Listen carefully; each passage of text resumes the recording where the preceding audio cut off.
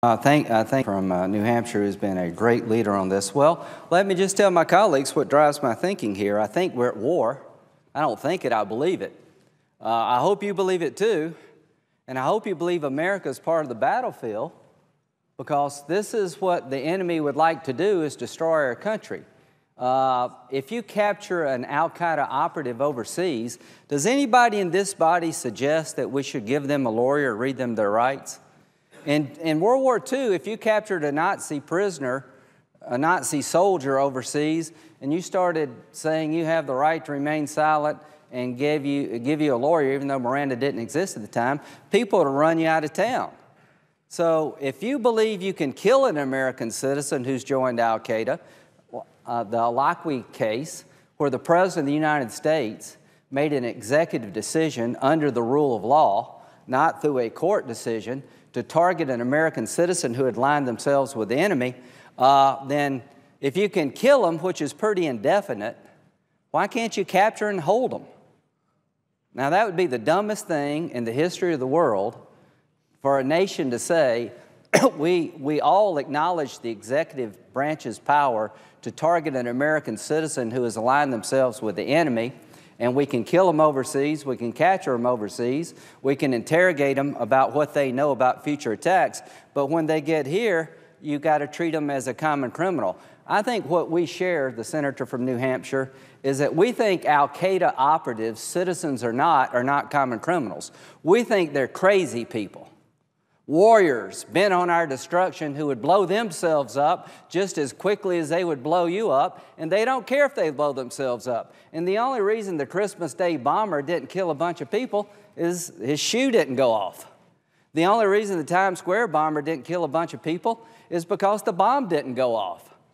If you're an American citizen and you want to help Al Qaeda kill Americans and destroy your own country, here's what's coming your way and if you happen to be listening to this debate, please understand the law as it is today and is going to be after the, this bill is passed. We're at war. The authorization to use military force passed by the Congress right after the attacks against this nation designates Al Qaeda as a military threat, not a common criminal threat, so we apply the law of war. There are two legal systems at play here domestic criminal law that's well serves us as a nation to deal with crime. Even the worst person, the worst child abuser, gets a lawyer and is presumed innocent. Believe it or not, war criminals get lawyers and are presumed innocent. I'm proud of both uh, systems, but the law enforcement model doesn't allow you to hold someone for a period of time to gather intelligence. Under the law enforcement model, the one, once you capture someone, you have to start reading them their rights and providing them a lawyer. Under the law of war model, you can hold someone who's part of the enemy force and gather intelligence. And this is not the first war where American citizens have sided with the enemy. The In re Quirin case, a World War II case where American citizens aided Nazi saboteurs. And here's what the court said There is no bar to the nation's holding one of its own citizens as enemy combatant. That's been the law for decades. So, if it made sense to hold an American citizen who was helping the Nazis under military authority because they're helping a military enemy of the nation to gather intelligence, why in the world wouldn't it make sense to hold somebody who's joined with Al Qaeda to gather intelligence about the next attack? And let me give you an example of what we may face. Homegrown terrorism is on the rise. The internet is out there. It's a good thing and a bad thing.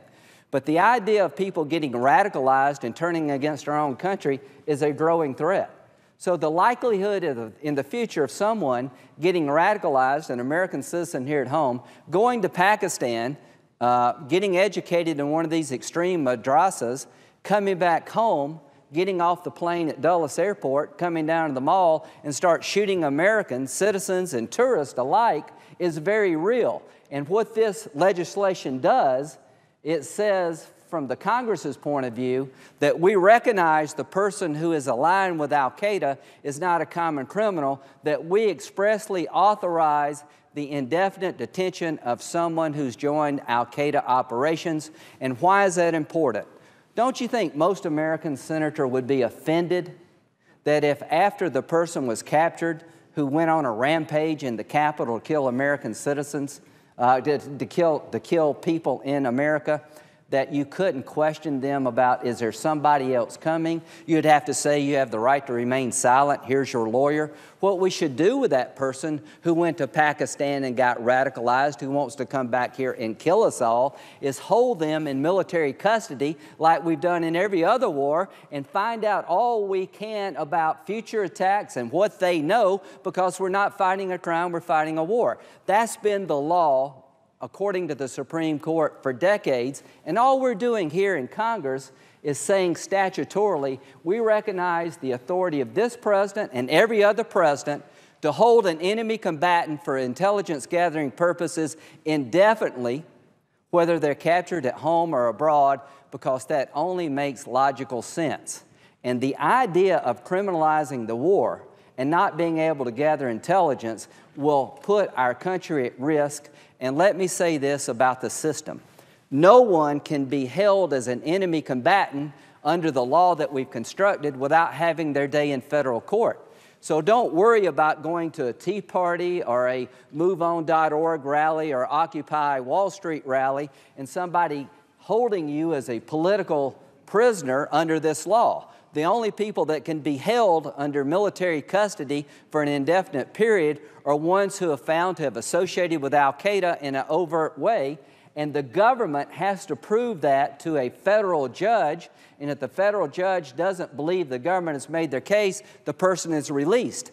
If the federal judge says to the United States government, You have convinced me that the person in front of me is cooperating and has joined Al Qaeda and is overtly engaged in hostilities against the United States, I hereby authorize you to hold that person to gather intelligence. How long can you hold them? As long as it takes to make us safe.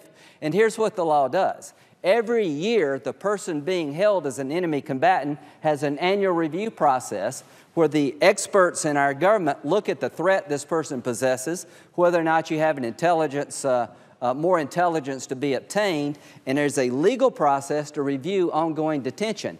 And here's what some of my colleagues would say wait a minute, you can't do that we're going to say as a member of Congress at an artificial date, you got to let that person go or try them. A lot of these cases will be based on intelligence that may not go to an Article 3 court. We may have to compromise our national security. We can prove to a judge or a member of Al Qaeda, but we're not going to take you to the criminal court because that's not in our national security interest.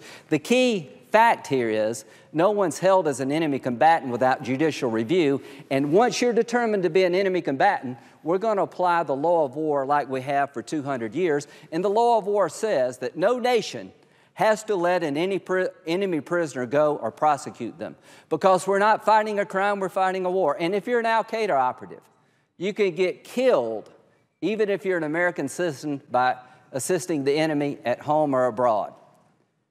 So don't join Al Qaeda because you could lose your life.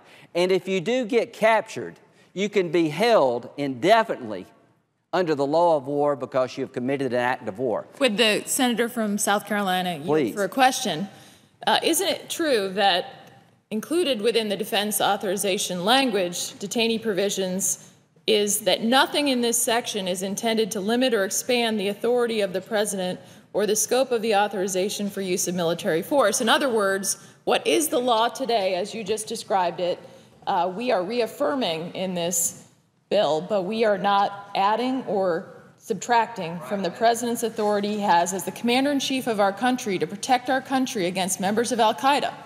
But here's what we are doing. You're correct. Here's what Lindsey Graham's doing, Carl Levin, and a overwhelming body, uh, members of the body, is about to do. We're about to pass a defense authorization bill that increases military pay, that has a lot of great things. But we're about to say, as a Congress, we believe we're at war and we reject the idea, the libertarian idea, who are great Americans, that if you get to America, somehow it's no longer a war.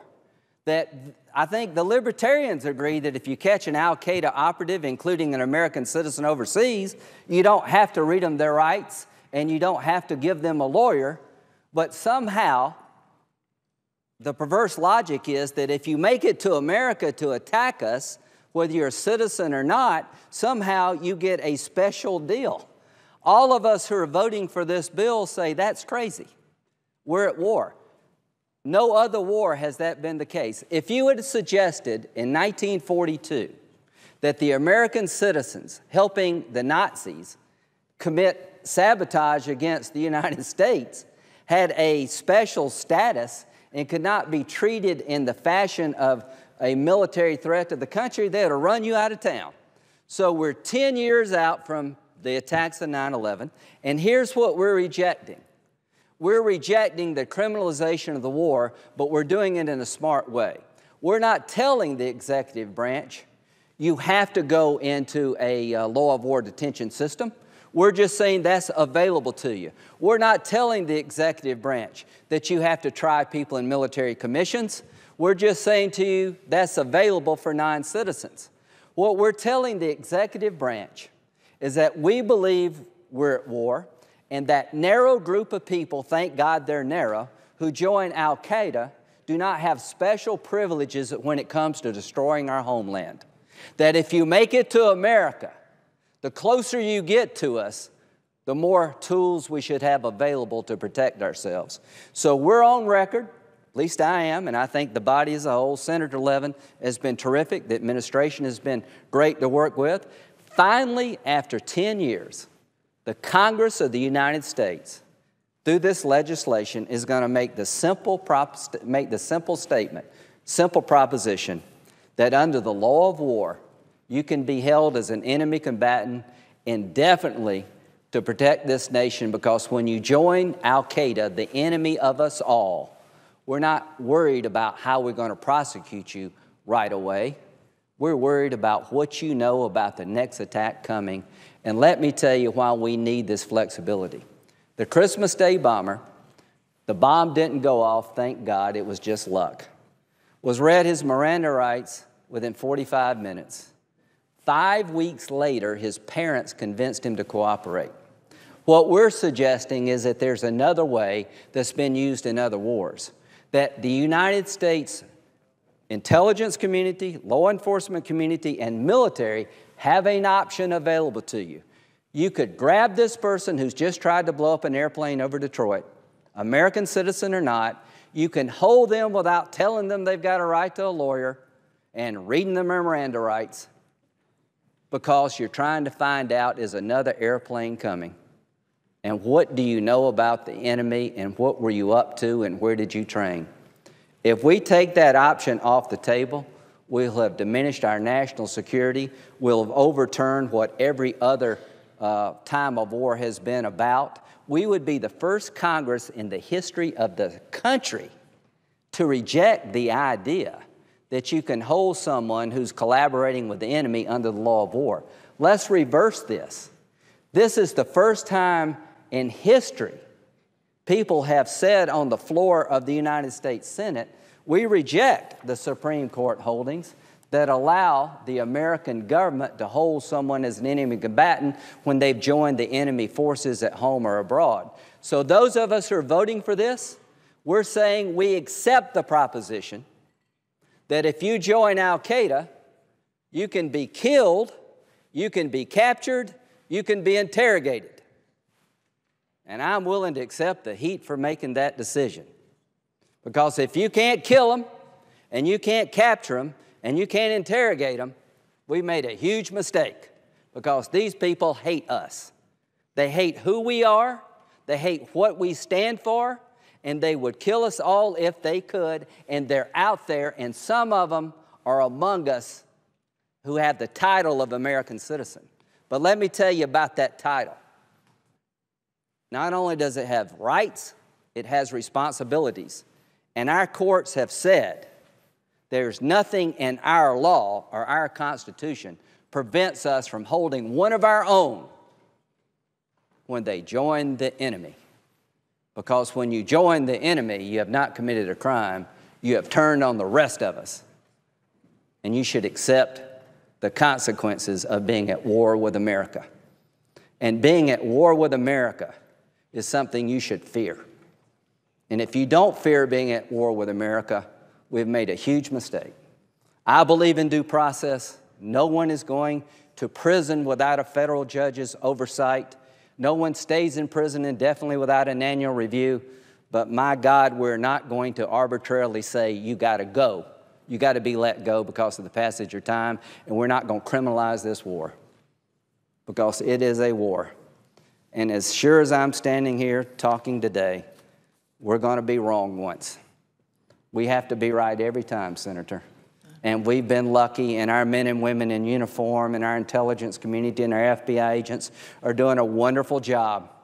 They're working night and day to protect us, and the threats are growing. They're not lessening. And there'll come a day, I'm sad to say, when we're going to get hit again. But when that day comes, we're going to make sure we have the tools to deal with it in terms of what it really is an act of war. And we're going to have the tools available to this country to rein in the consequences because we're going to have the tools available to find out where is the next attack coming from. We're not going to criminalize the war. We're going to fight it within our values. We're going to provide robust due process, but we're going to acknowledge as a body here in Congress that our chief executive and those men and women in uniform, law enforcement agents, CIA agents, that you have our blessing to do your job, and we're going to acknowledge that you have the tools available in this war that were available to other like people in other wars. Because, ladies and gentlemen, if there was ever a war where it was important to know what the enemy was up to and hit them before they hit you, as this war. Because they could care less about losing their lives. And the only way we'll be safe is to gather intelligence. And you can't gather intelligence, in my view, by locking America down to dragnet standards. This is not a TV show. This is a real world event that changes as I speak. So, to Senator Levin, Senator Ayotte, and to all of those who have tried to create a compromise to enjoy bipartisan support to the administration, thank you all. To the critics, some of your criticism has been unfounded, but you have the right to be a critic. You live in the state called Live Free and Die. Let me remind everybody being a critic and being able to speak your mind, sometimes people have to die. And the, the time for the senator in, uh, from New Hampshire has expired. Can I ask for 30 seconds? I'll is just, there any objection? Uh, reserving the right to object, and I, of course, won't. How much time is left before our vote? One minute. I do this in 15 seconds. Senator would save me 30 seconds. I'd appreciate it. Absolutely. This idea Without objection.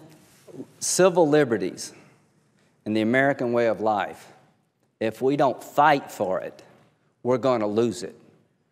And we're under siege and we're under attack. So let's fight back within our values. This bill allows us to fight back, and I am very proud of the product. Thank you, Senator Levin, for being such a good leader for the nation at a time when we need good leaders. That I yield.